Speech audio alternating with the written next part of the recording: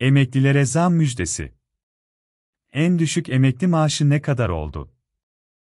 Ocak ayında yapılan yaklaşık %50 oranındaki zamdan sonra Sosyal Sigortalar Kurumu ve Bağkur emeklilerinin en düşük maaşı 10.000 Türk Lirası seviyesine yükselmişti. Ocak ayında yapılan yaklaşık %50 oranındaki zamdan sonra Sosyal Sigortalar Kurumu ve Bağkur emeklilerinin en düşük maaşı 10.000 Türk Lirası seviyesine yükselmişti. Haziran ayı enflasyon rakamlarının Türkiye İstatistik Kurumu, TÜİK, tarafından %1,64 olarak açıklanmasının ardından Sosyal Sigortalar Kurumu ve Bağkur emeklilerinin maaşları %24,73 oranında artırıldı. En düşük emekli maaşı ne kadar?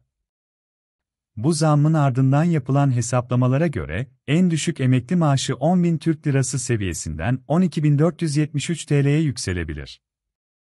Kök ücretler üzerinden yapılan bu hesaplamalar, farklı kök ücretlere yönelik olası yeni düzenlemelerin hayata geçmesi durumunda Çalışma ve Sosyal Güvenlik Bakanlığı tarafından resmi internet sitesi ve sosyal medya hesapları üzerinden duyurulacak.